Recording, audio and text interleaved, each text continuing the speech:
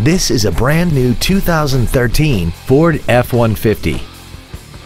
This truck has an automatic transmission and a 3.5-liter V6. All of the following features are included. A double wishbone independent front suspension, a low tire pressure indicator, traction control and stability control systems, automatic locking wheel hubs, an engine immobilizer theft deterrent system, a passenger side vanity mirror, an anti-lock braking system, side impact airbags, air conditioning, and an auxiliary power outlet. This vehicle is sure to sell fast. Call and arrange your test drive today.